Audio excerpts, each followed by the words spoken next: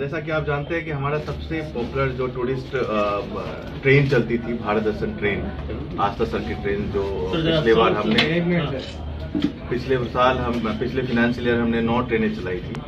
और जो काफ़ी हिट था, लोगों ने काफ़ी पसंद किया था। इस साल कोविड के कारण हम लोग नहीं चला पाए। लोगों की काफ़ी डिमांड आ रही थी। सितंबर अक्टूबर महीने में भी डिमांड आई थी, लेकिन कोविड के कुछ प्रोटोकॉल के कारण हम लोग नहीं चला पाए थे। और काफ़ी डेस्टिनेशन खुली नहीं थी। मंदिरें बंद थी, इसलिए नहीं चला पाए थे। फिर दिसंबर में भी काफ़ी था तो उसके बाद इलेक्शन का टाइम था तो उस समय हम नहीं कर पाए। बट अब हम लोग पूरी तरह से तैयार हैं। हमारी पूरी टीम तैयार है। और इस बार हम थर्टी फ़र्स्ट जनवरी को हम ट्रेन लेके जा रहे हैं।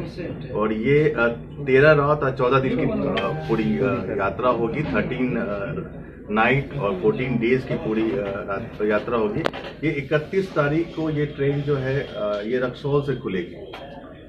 इस ट्रेन में जो हम लोग जहाँ जहाँ जाएँगे पहले उसके बारे में बताते हैं। भ्रमण स्थल जो जो है एक तो हम लोग तिरुपति जाएँगे जो कि उसके बाद हम लोग रामेश्वरम जाएँगे। मदुरई जाएँगे कन्याकुमारी जाएँगे उसके बाद फिर हम लोग त्रिवेंद्रम जाएँगे और फिर हम आते समय पूरी भी जाएँगे। तो ये पूरा जो साउथ इंडिया का जो भी मेजर डेस्टिनेशन है कवर कर रहे हैं एक बार में। और जो कि उस समय मौसम भी काफ़ी अच्छा रहेगा हम लोग मकर संक्रांति के बाद इसलिए हमने प्रोग्राम को प्लान किया है कि लोग संक्रांति के बाद नए साल में आगमन करते हैं और सब लोगों का उस समय दर्शन करने की काफ़ी वो रहती है और काफ़ी हमें डिमांड भी इस ढंग बोर्डिंग स्टेशन हैं वो है रक्सौल सीतामढ़ी दरभंगा समस्तीपुर मुजफ्फरपुर हाजीपुर मोकामा क्यूर आसनसोल पटना जंक्शन। तो ये पटना होते हुए ये मोकामा क्यूर आसनसोल होते हुए ये साउथ में जाएगी। तो ये सब जगह पे लोग बोर्ड हो सकेंगे और इन्हीं सब जगह पे लोग डिवोट भी जब वापस आएँगे तो डिवोट अब जो फैसिलिटीज़ होती है इस इसमें क्या होता है कि हम टिकट तो देते ही हैं कंफर्म टिकट पूरी ट्रेन होती है, जो कि साथ में जाते हैं। सारे इसमें पैसेंजर जो होते हैं घूमने वाले पैसेंजर होते हैं। इसमें क्या होता है, सबसे पहले होता है कि इसमें खाना पीना जो भी है, वो अनलिमिटेड होता है। फ्री होता है खाना, उसमें इंक्लूड होता है। जो टिकट जो पैकेज की कॉस्ट है, उसमें खाना और तीनों टाइम का खाना, फिर नाश्ता, चाय इंक्लूड होता है। उसके अलावा इसमें क्या है, टिकट के खर्च इसमें इंक्लूड होते हैं। इसके बाद एकोमोडेशन जहाँ पे आप रहने का जो हम व्यवस्था करेंगे, वो भी इसी पैकेज कॉस्ट में इंक्लूड होता है।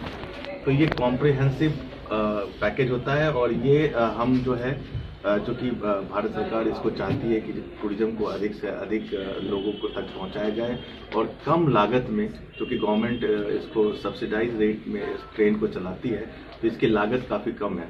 अगर इसकी तुलना अगर सेम एटनरी की तुलना अगर आप मार्केट से करें तो कम से कम चार गुना ज़्यादा होगा मार्केट में जो हम इससे कम नहीं पैकेज है तो जो ये पैकेज का जो कॉस्ट है वो तेरह हज़ार दो सौ तीस। हाँ ये है तेरह हज़ार दो सौ तीस रुपया। Thirteen thousand two hundred thirty rupees प्रति व्यक्ति। तो इसमें खाने का पीने का रहने का घूमने का ट्रांसपोर्टेशन सब कुछ इसमें इंक्लूड है। दक्षिण भारत का दक्षिण भारत का उत्तर भारत के लिए भी कोई आपके पास हाँ ये ये हम लोग हर आप अगर पिछले साल भी देखें तो हमने नौ ट्रेनें चलाई थी अलग अलग डेस्टिनेशन से अलग अलग डेस्टिनेशन के लिए।